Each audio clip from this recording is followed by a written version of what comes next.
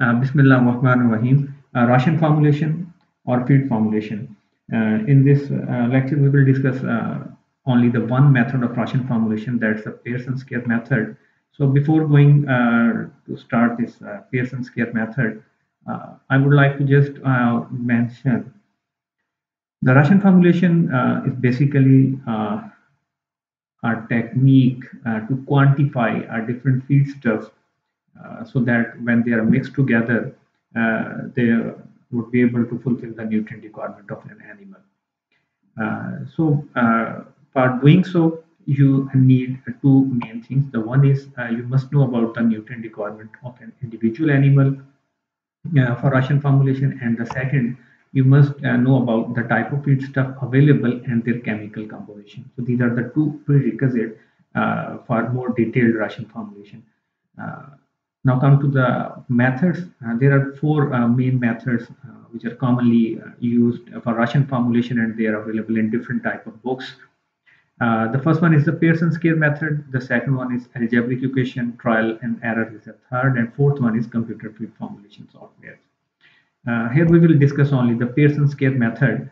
So in Pearson scale method, we can only balance one nutrient at a time if you would like to uh, balance energy, protein, calcium, phosphorus, so that could not be possible through Pearson's care method.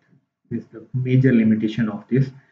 And uh, the second one is uh, we can easily calculate uh, the quantity of feedstuff if we use only two feedstuff. But when we have more than two feedstuff, then uh, definitely we will uh, have to do a lot of calculations, and that makes the process little lengthy. So keeping in uh, mind uh, these two things, uh, we will start with the, the two, by using two feedstuff ration formulation.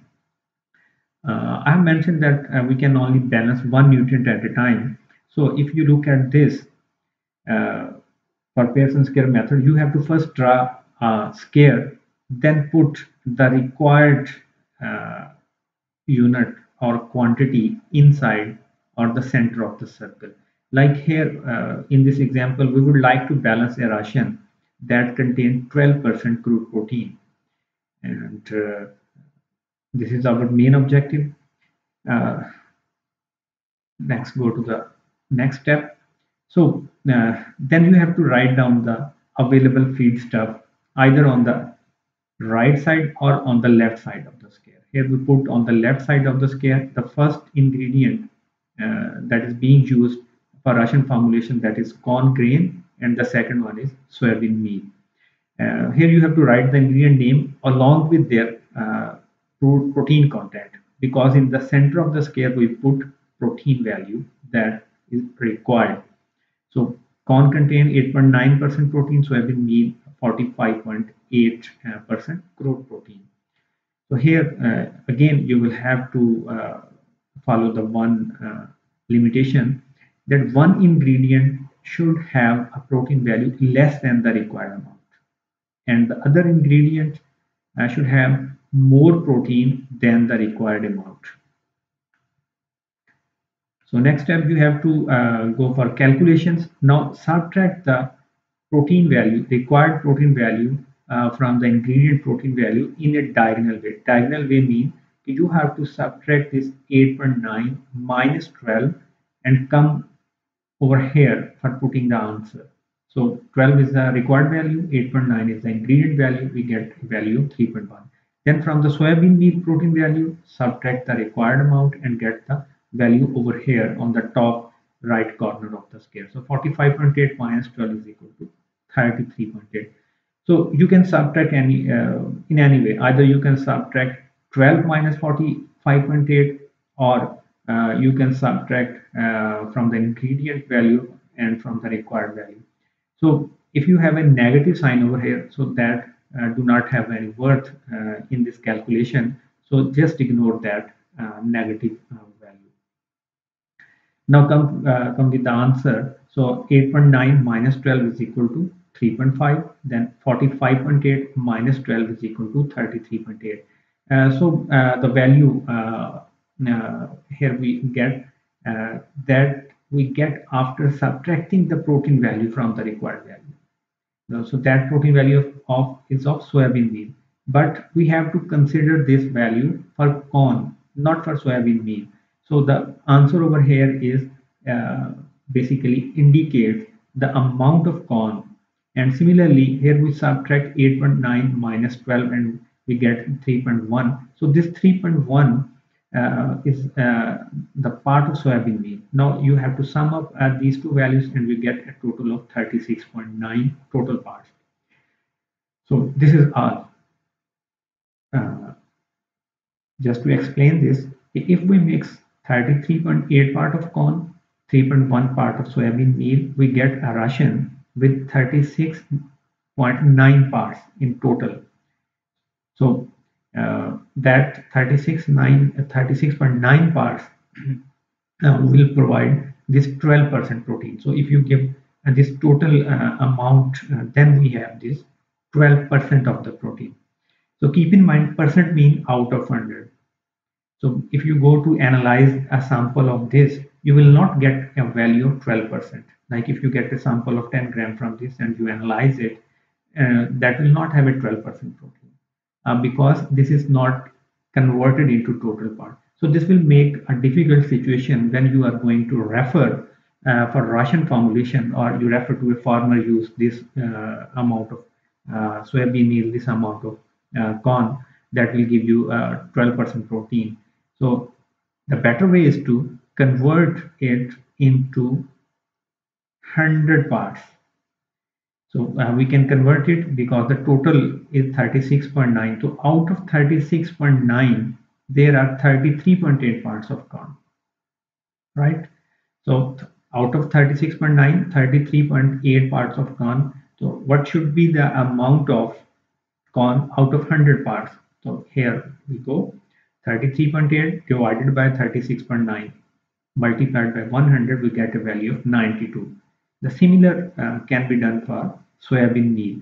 So after this conversion, we have 92 parts of corn and 8 parts of soybean meal. That will give us a 100 parts. So now if you take any uh, amount of sample from that 100 parts, you always uh, get 12% of the protein value. Now uh, for just confirmation, uh, we have corn and soybean meal. Here is the chemical composition 8.9% protein, 45.8% protein. And the parts which we calculated out of 100, there are 92 parts of corn and 8 parts of soybean meal. Uh, now, keeping uh, in mind these values, we can get uh, the protein available from corn. Uh, here you see it is 8.9%. It means 8.9 gram protein is available if we feed 100 gram of corn to the animal. So simply you can say okay, out of 100 we get 8.9 uh, gram of protein. So 100 gram of corn will give 8.9 gram of protein. Then uh, out of 92 parts, how much protein uh, will be available? So that is 8.19. Similar for soybean meal, 45.8 is the percent of protein. So 100 parts will give 48.8 parts of protein. Now we have only eight parts. So how much quantity of uh, protein uh, is available from uh, eight parts of soybean meal? So we can get by this way. Okay, out of 100, there is 45.8. So 45.8 divided by 100, then multiplied by the uh, parts which we have uh, calculated. Then uh, the available protein from this stuff is 3.66.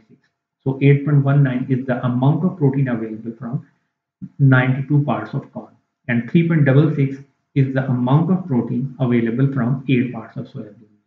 So when you sum up, we get a value of 12. So 12 is our required amount.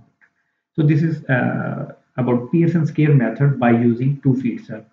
So uh, now the question is what we should do for the other nutrients. So when you have these parts, then you can go for calculating uh, the rest of the things, how much amount of energy, calcium or other things they are available when we mix 8 point uh, sorry when we mix 92 parts of corn and 8 parts of soybean meal that will give you the value but again uh, uh, that might not be according to the requirement of the animal so this is the limitation of this Pearson okay? we cannot go for balancing each and every nutrient For mineral contents like calcium, phosphorus, yes, you can add uh, the deficient amount by using any supplemental material. Like for calcium, you can use limestone according to the deficient, deficiency. Uh, similarly, for uh, for phosphorus, you can go for uh, dicalcium phosphate. Uh, basically, this technique is useful when someone is preparing a concentrate mixture uh, and then uh, he will prepare that concentrate mixture and will ask the farmer to use the grain available at his or her home for feeding to the animal. So if we look at this example, we have soybean meal, eight parts. So if we have a uh, packet of soybean meal with eight parts, so we will recommend our farmers that they mix 92 parts of corn uh, so that it can be uh, provide 12% protein to their animal feed.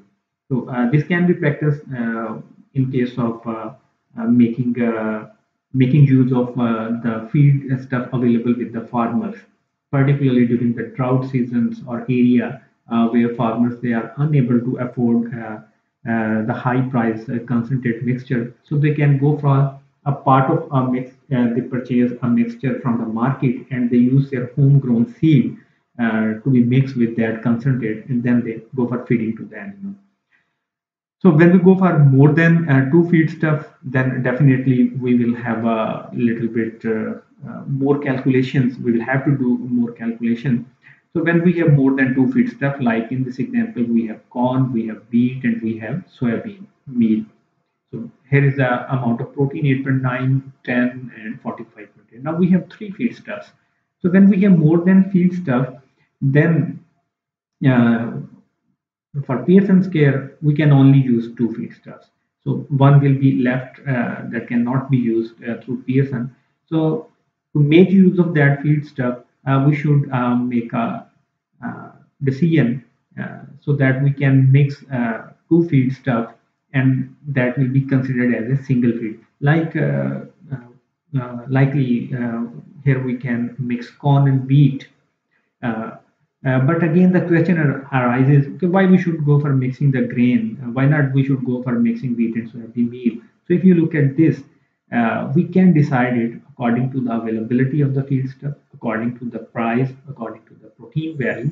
So there are different choices, uh, but generally uh, it is acceptable to mix all of, whatever the grain they are available into a single feed for the sake of calculations and for giving a concentrate mix to the farmer. Like in this example, we have the option of to mix corn and wheat and we use soybean meal as a second feedstuff. We can mix corn and soybean meal and then uh, we can use wheat as a second feedstuff. Then we can mix wheat and soybean meal and we can use corn as a second feedstuff. So these are the three uh, options.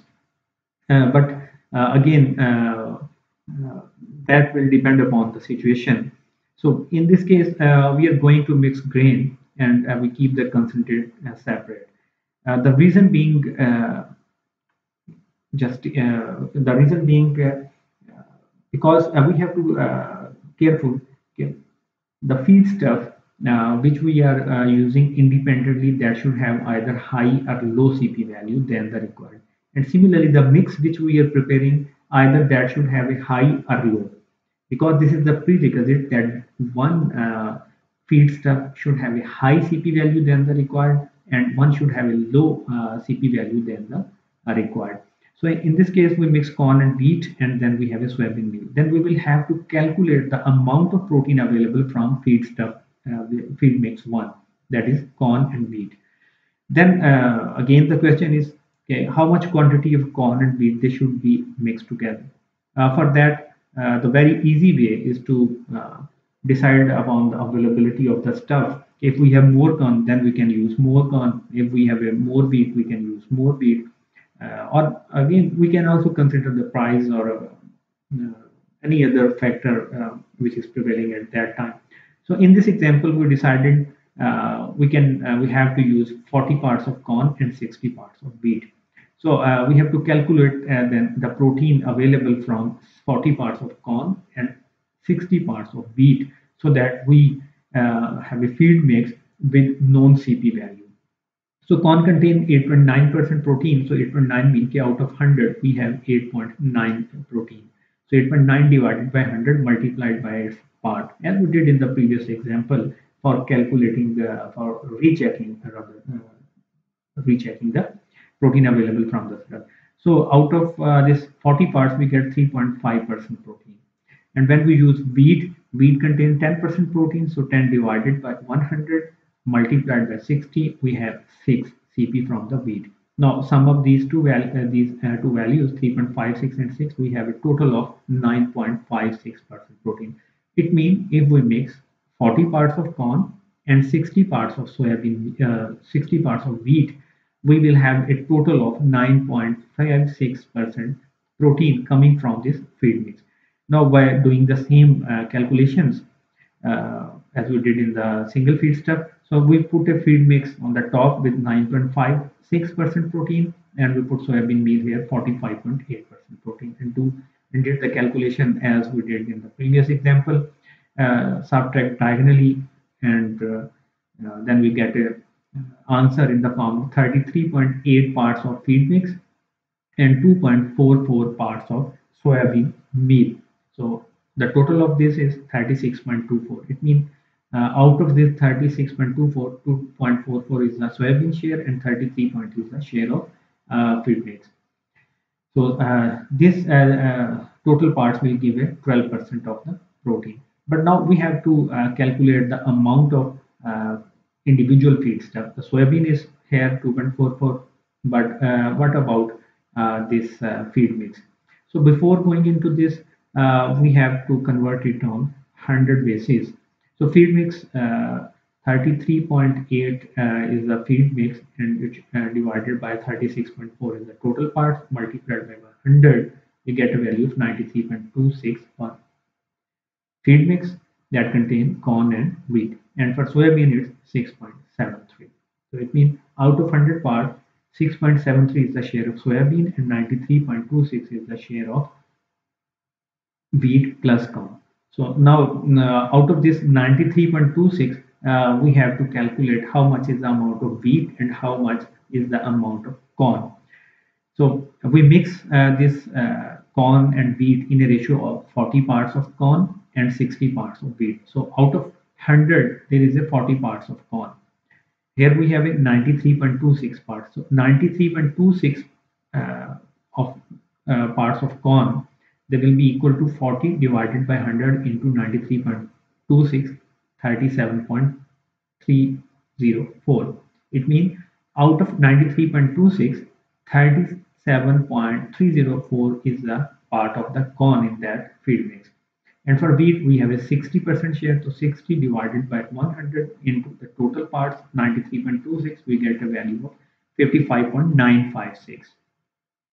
So this is the amount of uh, wheat out of 100.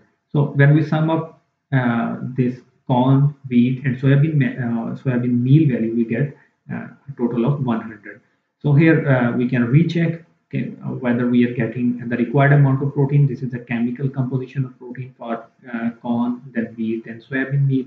Then we have a, a parts which we have calculated for corn, wheat, and soybean meal. And by doing the same way, uh, we can calculate okay, out of 100, uh, there is a 8.9 parts of protein. So out of 37, 3.04, uh, we can get 3.3 parts of the protein.